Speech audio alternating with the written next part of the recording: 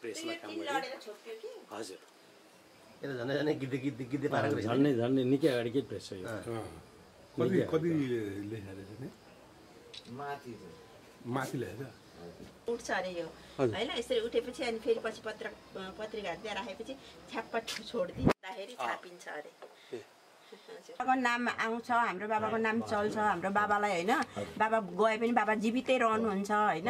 अब होइन हामीले गएर हेर्नुपर्दा हाम्रो बाबा यहाँ के परेर आउनु भएन म धन्यवाद ज्ञापन गर्दाखेरि हाम्रो शङ्कर खरेलजीलाई पनि धन्यवाद ज्ञापन गर्छु। उहाँ कार्य समिति सदस्य बोर्ड सदस्य हुनुहुन्छ र सबभन्दा पहिला चाहिँ काठमाडौँमा मलाई त्यहाँ मेसिन एउटा जतन गरेर राख्नु भएको छ राधा बाबुले अब आज हामी आएको चाहिँ उहाँको परिवारले यो यो जुन यन्त्र छ छापा यन्त्र त्यसलाई भद्र र सज्जन व्यक्तित्वका रूपमा सुपरिचित घिमिरे विक्रमसम्म दुई हजार तिसको मध्यतिर सञ्चार शिक्षा तथा सामान्य प्रशासन राज्यमन्त्री हुनुभएको थियो केही समयपछि बाँकी दुई वर्षसम्म उहाँको जिम्मेवारी सञ्चार र शिक्षा राज्यमन्त्रीका रूपमा कायम रह्यो।